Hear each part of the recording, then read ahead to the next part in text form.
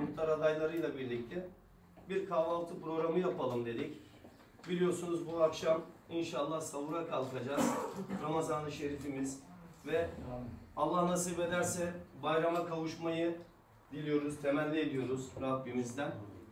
Önceliğimiz bu konuda.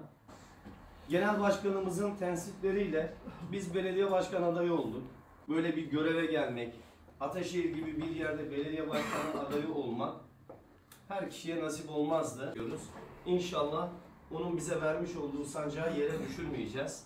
94 ruhunu inşallah yeniden 2024 seçimlerinde Ataşehir'de belediyeleri alacağız. İstanbul'da ve tüm Türkiye'de belediyeleri alacağız.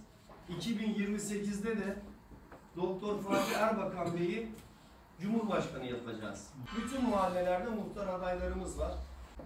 Her şey önce muhtarlardan başlıyor. Bir muhtar mahallesindeki yaşayan kişilerden sorumlu.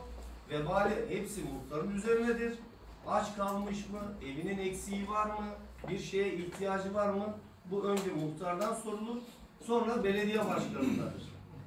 Allah işinizi kolaylaştırsın diyelim. Biz her zaman diyoruz ki ahlaklı bir şekilde yapmamız lazım. Önce ahlak ve maneviyat derken biz bundan bahsediyoruz. Biz de ahlaklı belediyecilik yapacağız diyoruz.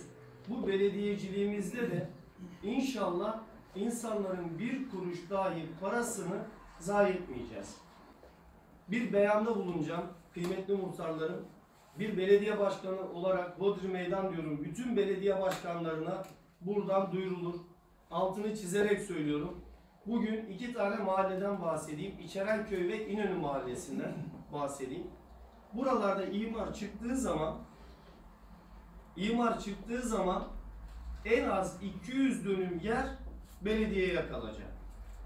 Çünkü belediyenin yerleri olması gerekiyor. Doğru mu? Halka hizmet edebilmesi için. Ben de bunu noter tasdikli beyanda bulunuyorum. Bülent Tüylü olarak Yeniden Refah Partisi Ataşehir Belediye Başkanı adayı olarak bütün belediye başkanları da bu şekilde beyan versin. En azından halkımızın malı sağda solda birilerine peşkeş çekilmesin. İster bugünkü yönetim, ister gelecek yönetim. İster iktidar partisi, ister muhalefet partisi. Kim gelirse gelsin halkın bir metrekare ben bunun garantisini veriyorum burada. Neden spor salonları yapılmasın? Neden yüzme havuzları yapılmasın? Neden insanların sağlığı için bir şeyler yapılmasın? Mesela Ataşehir'imizde kadın doğum ve çocuk hastanesi yok. Olamaz mıydı? Olabilirdi. Ben iki mahalleden bahsettim. 200 dönümden bahsediyorum. 17 mahallenin e, 200 dönümünden bahsediyorum. Böyle bir yer çıkacak.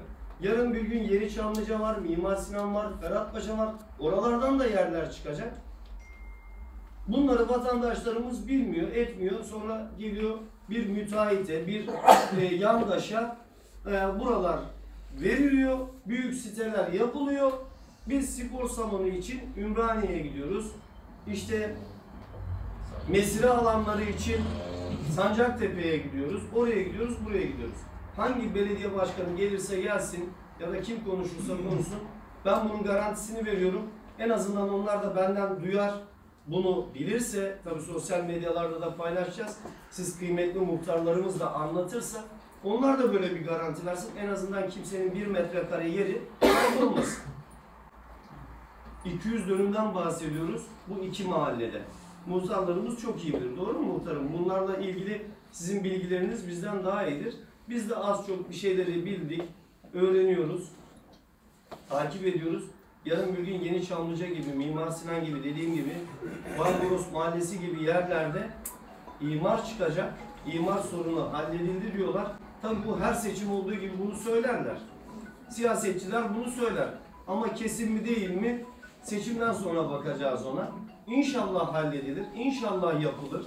Biz iyiye iyi, kötüye kötü demek zorundayız.